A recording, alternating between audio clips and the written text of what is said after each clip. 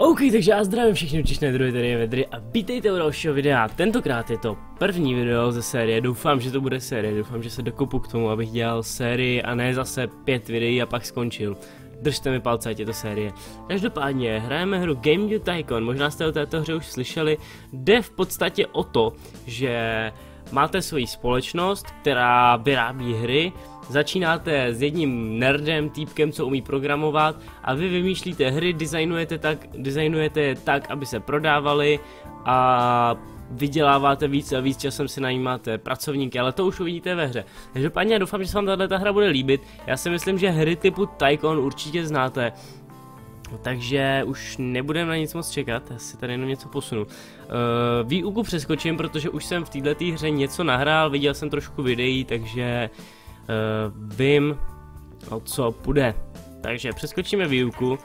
Vítejte v Game View Tycoon. Ano, v tomto obchodním simulátoru jste přeneseni zpět v čase do dob začátku počítačové revoluce, abyste začali vést svoji vlastní herní vývojářskou společnost. V následujících 35 letech budete budovat společnost svých snů, tvořit největší hity, získávat fanoušky a stanete se nejlepším na trhu. Takže nemůžeme nic pokazit, staneme se nejlepšími na trhu. Ano, určitě. Každopádně 35 eh, let uplyne, ale pak budeme moct pokračovat dál, nicméně myslím si, že pokud eh, nahrajeme 35 let v let's play, tak to bude masakr. Není to samozřejmě reálný čas 35 let. To vám asi došlo.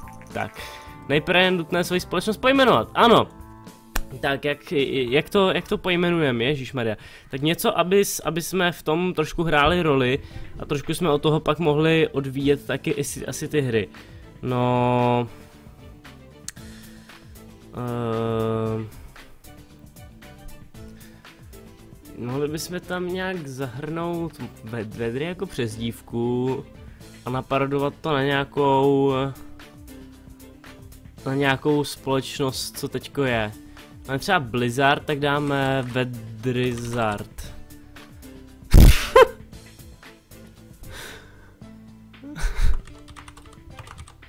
SRO nedává smysl, ale proč ne? Proč ne? Jméno hráče, Vedry samozřejmě. A budeme holka. Ne, budeme nějaký pořádný nerd.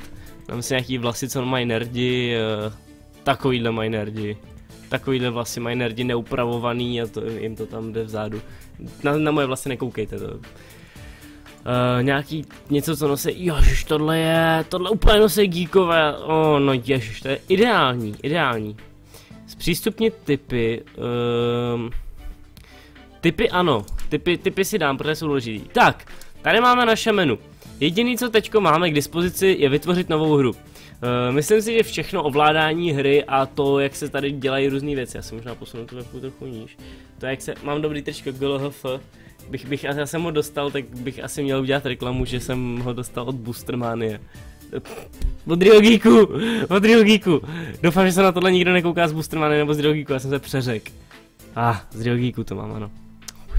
Já jsem z těch firm zmatený, omlouvám se, to sem nepatří. Uh, každopádně, tady to nahoře zjistíte, co znamená uh, až uh, v průběhu hry. Tady máme náš přehled, kolik máme peněz, kolik máme fanoušků, jaký je rok, měsíc a týden. Takže jediné, co teď máme, vytvořit novou hru. Uh, musíme si zvolit téma, co tady máme? Detektivka, Cyberpunk, superhrdinové, dungeon. Tak dáme nějakou detektivku, bude se jmenovat Ved... Vedrock Holmes. Žánr. Uh, co je dobrý pro detektivku? Adventura? Určitě adventura, že jo? Ad adventury. Nebo adventure detektivka, dává to smysl? A ještě může být akční detektivka, ale to není akční, musí být fakt vyloženě nabitý. Tohle bude adv adventure hra. RPGčko tam nesedí skoro vůbec. A platforma, momentálně začínáme v roce úplně, kdy začínaly teprve tyhle všechny technologie. Takže máme jenom konzoli G64 a PCčko. Uh, tady už mám nabitý ty zkušenosti a vím, že na G64 fungují dobře simulátory a strategie. Uh, nevím, jak na to funguje Adventure, jak na tom funguje Adventure hra, ale myslím si, že to bude lepší jak na počítači, ale na druhou stranu je to zase hra dražší. A tady je ten podíl na trhu a dáme si PC. Tak eh, a zatím nikdy dál nemůžeme vy, vy to vymýšlet. Můžeme si vzít eh, textovou hru, anebo 2D grafiku. Já jsem si že 2D grafikou nic nepoškodíme, než tam budou takový ty plošné postavičky, že jo, přiběhne tam Bedrock Holmes a tak, zahájit vývoj. Tak, teď mi tady vlastně nabíhají eh, kolečka. Čím víc těch koleček mi tam vyblopne, tak tím víc eh, ta hra bude lepší, bude se víc prodávat a budu mít lepší hodnocení. To se taky dozvíte za chvilku. Takže co tam budeme potřebovat? Na detektivní adventure hru nepotřebujeme moc u Engine. Hratelnost určitě a příběh maximální. Engine necháme fakt minimální. Tak. Čím víc nám tady teďko vyběhne těch bublinek, tak tím je to lepší. Vlastně do kvality té hry se počítá jenom design a technologie a výzkum, to jsou body, které získáváme, za které si pak můžeme vyskovávat nová témata her, nové různé enginy a všechno, dozvíte se to v průběhu hry. Ještě tam jsou bugy neboli chyby, ale těch se zbavíme na konci hry. Tak tohle je vývojová fáze 2. Vlastně ještě jsem měl dodat, samozřejmě to jste asi poznali, že tady v té hře, um, tady v té hře, um, si takhle volíte různé, různé ty, prostě ty sloupečky a to vám podle toho vám to, vám, vám to něco generuje. Tak, dialogy, ty budou určitě důležitý v detektivce. Design úrovní není potřeba moc důležitý a umělá inteligence taky bude trošku důležitá, protože když se bude tam bavit s nějakýma těma NPCčkama a vyzvídat, kde byl tamhle Franta Šiška včera večer, tak mu musí nějak odpovědět. Tak, jdem na to. Uvidíme, co nám, co nám z toho vyleze. Máme docela dost bodíků v designu, ne moc v technologii, což se dá čekat od, od takovéhle hry. Ještě tady si zatím nic moc zvolit nemůžem, ale časem až budeme mít lepší výzkumy, tak si budeme moct lep, zvolit lepší grafiku, lepší zvuky a tak. Design světa. Uh, teď nevím, co to, tady to jsem nikdy nějak moc nechápal. Design světa v Adventure bude asi důležitý. Graf, zvuky, zvuky nebudou skoro moc důležitý a grafika bude jako ne, není důležitá. Ale tam hlavně ten design světa, tohle dáme takhle. Tak, OK. A teď přijdou kritici. Ještě, ještě teda ne. Ještě musíme dodělat, eh, ještě se, se musí vyfixovat tyhle ty chyby. Teda ještě se dodělává zvuk. Tak, a teď musíme počkat, až náš programátor vych, vychytá všechny chyby. Dva, jedna, blob. Dokončit hru. Tak, teď se nám, eh, tady, tady získáváme různé levely prostě v různých, jako všech těch, co jsme si volili a tady, proč tam je výdry? Já, já jsem napsal výdry místo vedry, sakra. No tak máme na výdrym nějaký levely. Tak, vydat hru. Teď když vydáme hru, tak nám přijdou recenze od kritiků. To je věc, která je strašně důležitá. Pokud nedostanete vysoké skóre, hra se nebude prodávat. 7, to je OK, na první hru dobrý, na první hru dobrý. 7, taky dobrý. Zábavná, ano. 8, hrál jsem jí celé, hrál celé dny. Velmi dobrá, od All Games, super, super. Není to jak od IGN, nejlepší hra, kterou jsem kdy hrál, 2 z 10. Dobré, dobré, velmi dobré, 7, 7, 8, 8, to je super. Tak, teď se teď tady uh, vydali jsme z první hru, hra obdržela slušná hodnocení a máme dobrý status, super. Tak a teď se nám tady bude uh, ukazovat, kolik jsme prodali kusů. Ty král, to je hodně, to je hodně. 7600 kusů hry, dostali jsme se na 19. místo v žebříčku. 53 fanoušků, wow! A vydělalo nám to víc peněz, než jsme na to utratili. Fakt, sakra hodně. Sakra, hodně jsme na tom vydělali. Pecka. Tak, ehm, teď je důležité vygenerovat herní report neboli zrávu o hře. To je pravděpodobně tahle ta eh, hra je překládaná jenom asi nějakými českými fanoušky, takže vygenerujeme zrávu o hře. Ne, nemůžeme si stěžovat. Vygenerujeme zprávu o hře, herní report, který nám řekne, co jsme v té hře udělali dobře a co jsme udělali špatně, což hned uvidíte. Tak, herní report je tady, má ho týpek na stole. Tak, detektivní a Adventura jsou výborné kombinace, Engine je nedůležitá, schoda žánru na platformě výborná. Takže jsme typli všechno téměř dobře. Jenom jsme možná nerozpoložili dobře ty kolonky, ale to ze začátku nemůžeme čekat, že bude mít hodnocení 10, 10, 10, že jo. Tak, skvěle, máme spoustu peněz, spoustu výzkumových bodů. Uh, výzkum. Můžeme si vytvořit nové téma nebo herní engine, na ten ještě nemáme, tak si vezmeme nový, nový téma, záhada, virtuální mazlíčky, mazlíčci, chirurgie, uf, chirurgie, jak se jmenovala ta hra, kde, Surgeon Simulator. Ohoho, děláme chirurgii. Uh, začít výzkum, tak, děláme něco jako Surgeon Simulator, jak jste tam blátili mu do té hlavy a museli jste províst různou operaci, nebo nejenom, nejenom do hlavy. A to byla brutální hra, to byla brutální hra. A to bych asi měl dát to do 18, ale to ještě nemůžu. Tak, dáme vytvořit novou hru. Takže dáme teda chirurgii. Uh, žánr bude simulátor. A dáme... Maria chirurgický simulátor. Uh, no, na Surgeon Simulator se nedá nic moc na, naparodovat s jménem Bedry. Tak to bude...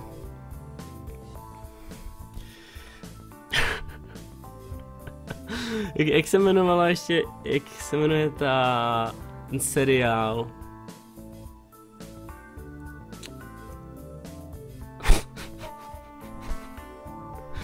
OK. Budeme ma maximální egoisti, budeme egoisti jak svině. Dáme si...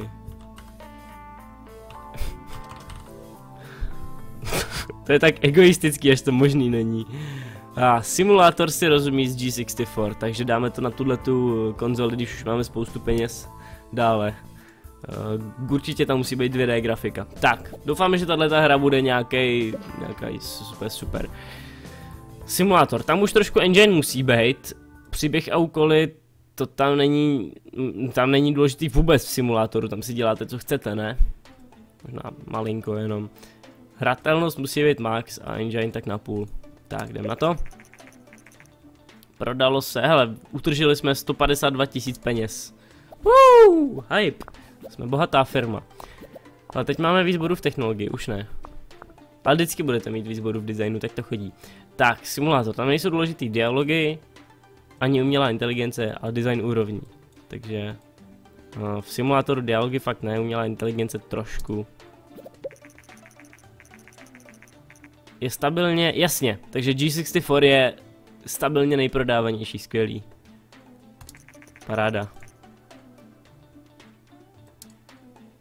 Takže jsme zvolili správnou konzoli, protože teďko je nahypovaná. Teď, teďko ta konzole je úplně jako best. Tak, co to, co tam bude dál? Design světa vůbec. Grafika a zvuk. Zvuk dáme tak na půl. Design světa není fakt potřeba na, na simulátor, kde budete v nemocnici, budete tam mít, no prostě není to důležitý. Tak ale, ještě, ještě máme dva bugy. Už nemáme ještě jeden designový bod. Dokončit hru. Skvělý, máme nový rekord v technologii, což je super. Tak, nějaký zkušenosti to nepotřebujeme znát. První hodnocení. Pojď, pojď, pojď, pojď, pojď, pojď, pojď. Co? Má potenciál? Tvoje máma má potenciál. Vystřední, ale dobrá, zábavná. Já si myslím, já si myslím, že byla. Hrál jsem mi celé dny, to si myslím. To bych ti radil. 6, 6, 7, 8. OK, je to nad průměrem. Za předpokladu, že průměr je 5. Dobrý. Tak, teď, hele, vygenerujeme rovnou zrávu o hře. A uvidíme, co nám, co nám tahle hra... Hele, hele, hele, wow! Ono se prodalo tolik kusů. Wow. Podle zvěstí plánuje japonská společnost Ninvento vytvořit svou vlastní domácí konzoli. Wow, super. Dinky King. je, je skvělý, jak si tvůrci této hry pohráli s těma falešnýma jménama. Uh, Jasně, takže lidi pochybují o, to, že, o tom, že Ninvento to zvládne. Tak, herní report chci vidět, co jsem, co jsem podělal. Chirurgie a simulátor je výborný, design úrovní je mírně důležitá. Jo, já jsem jí dal úplně na max, no oh well, stává se. Takže každopádně tahle hra nám generuje prachy a už máme spoustu, spoustu peněz. Tak, eh, zatím nemůžeme nic moc, než vytvořit další hru, ale můžeme si vyzkoumat nové téma. Obchod. Wow, obchod, skvělé. Budeme obchodovat. obchodování je fajn. Tak. Samozřejmě nemuseli jsme nic zkoumat, můžeme použít pořád ty stará témata, ale tak když máme na výběr něco nového, tak proč? Sakra ne. Ano. Uh, mimochodem, pokaždé, když něco vyskoumáte, tak se vám odemčou další... A hekování! Hekování, dej to sem! Tuhle tu hru bychom si teoreticky měli šetřit, až budeme hodně, hodně bohatá firma a... Ale to je jedno, to pak můžeme udělat znova. Prodalo se, ano, super. Tak, máme hackování. Oho, víte, co vytvoříme? Watch Vedris. ne, Vedry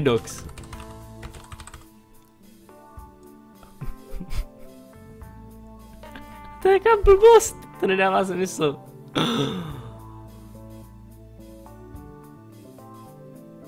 Watch Vedry, ale zase moc egoistický.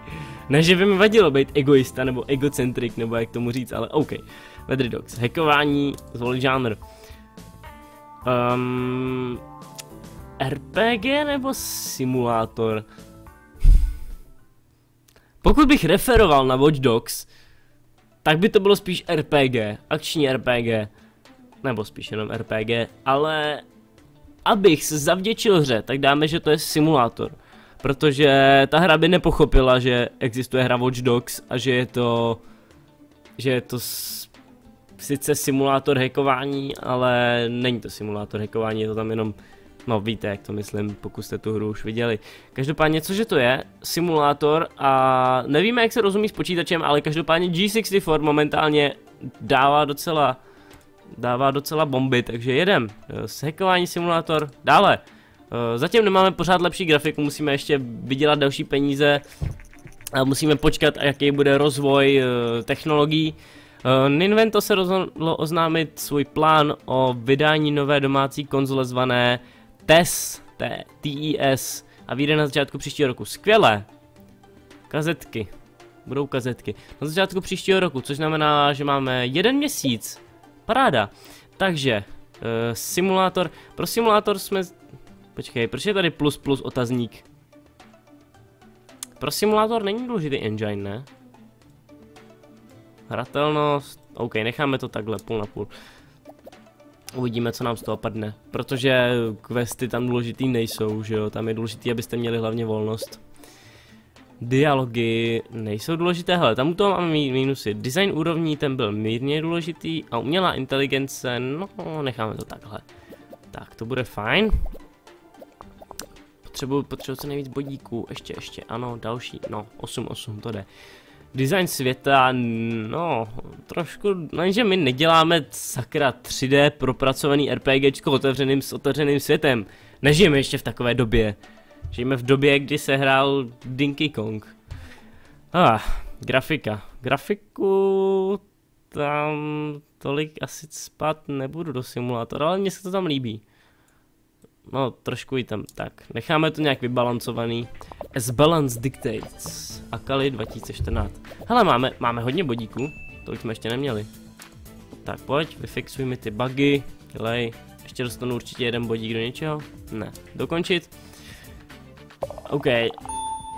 No, máme rekord opět jenom v technologii, takže tu, tahle ta hra nebude nic moc, to vím. To jsem si téměř jistý. Evidentně Bedry Dogs se jim nelíbilo. Kolik? Sedm, dobrá hra, ok, ok, ok. To říkáš o všech mých hrách. Mohlo to být lepší, trhni si. Nemohlo. Velmi zábavná, si myslím. All, game, all Games jsou moje favoriti, ty mi dají vždycky dobrý hodnocení. Tvoje máma mohla být lepší. Informovaný hráči, ale jsi informovaný, šašu. No dobře, tak co, kolik nám to vydělá? Doufám, že se něco prodá. No, není to bohužel jako Právě jsem dokončil Vedridox a vaším talentem jsem ohromen, si myslím. Podnikám s kontrakty. A, ah, máme tady kontrakty, skvělé. Uh, takže kontrakty. V kontraktech jde v podstatě o to, uh, používá se to téměř jenom k tomu získat výzkumové body, ale jde o to, že podle toho, jak vy jste zkušený, uh, vy jste zkušený programátor, tak můžete dělat zakázky. Tady máte nastaven, jde v podstatě jenom o tady ty, o tady ty kolečka a kolik na to máme, máte času. Tolik dostanete, když to splníte, tolik dostanete pokutu, když to nesplníte. A v podstatě neovlivňujete to nějak vy, prostě na to jenom kliknete a, a ono se vám to buď udělá nebo neudělá. Takže máme 5 týdnů na 12, 2, to bychom mohli zvládnout, 3.20 nedáme, ale designy postav, to je dobrý. Takže přijmeme zakázku a v podstatě důležitý na tom jenom je to, že splníme, nebo že získáme nějaký výzkumový body u toho a získáme teoreticky nějaké peníze. Není rozhodně novinky. Ninvento vydává svoji konzoli, skvěle. Takže na ní hned uděláme nějakou hru. Ale splnili jsme kontrakt, dostali jsme prachy. Bingo. Tak, um, výzkum. Jo, a ještě vygenerovat zprávu o hře. To jsem, to jsem zvědavý, co mi to, co mi to řekne, protože máme spoustu peněz, už bychom měli si opravdu pořídit něco nového.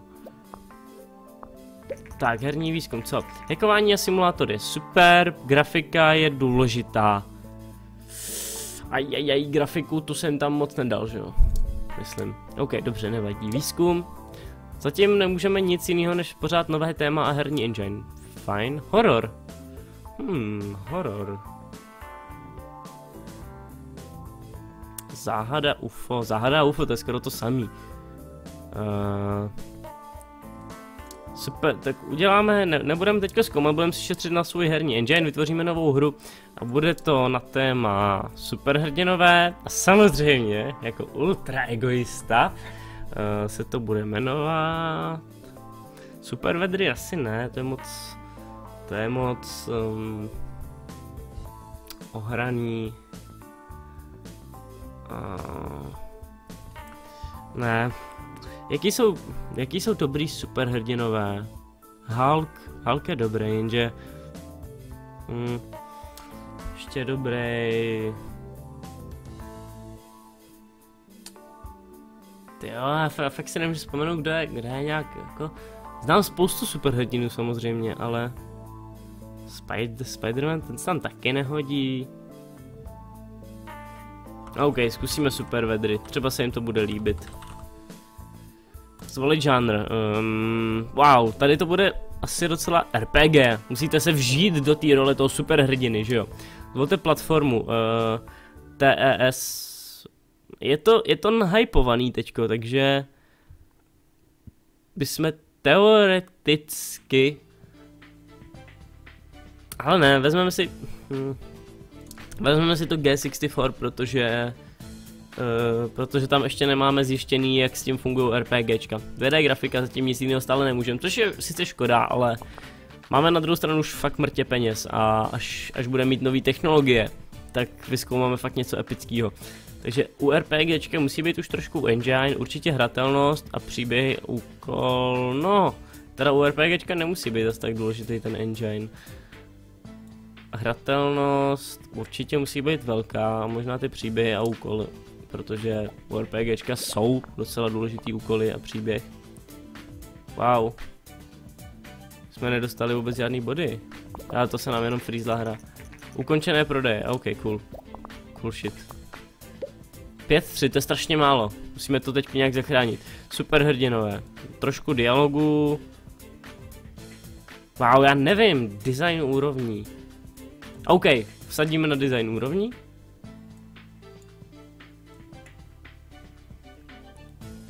U RPGčka není důležitý ten design úrovní, ne?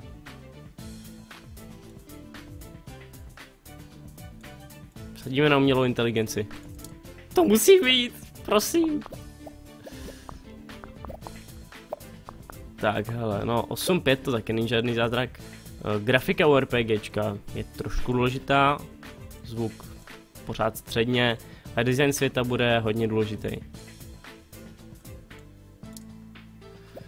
Já jsem se zase nedíval na ty rady. Oh God. No, tak tahle ta hra žádné rekordy nepřekoná, to jsem si téměř jistý. Blup. Dokončit hru. 14.7. Je to mizerný, ale tahle hra bude propadák, ale vsaďte se. Hele, spoustu nových úrovní, ale vsaďte se, že nám stále vydělá prachy. Půjde, půjdeme do plusu z té hry. Bude to mizerný. Jsem si téměř jistý, že to bude mizerný. 7 nader. What? RPG se hraje dobře na G64, děkuju. OK, říkal jsem si, že to bude kolem 4 toho nucení, takže já jsem spokojený. Perfetto. Tak, herní report. Kolik se prodalo? Něco. Prodalo se něco. Je to, je to dobrý. Hra se prodává. Uh, superhrdinové RPG, dobrá kombinace grafika je mírně důležitá schoda žánru na platformě. OK, takže jsme se nedozvěděli prakticky nic, co bychom podělali. Uh,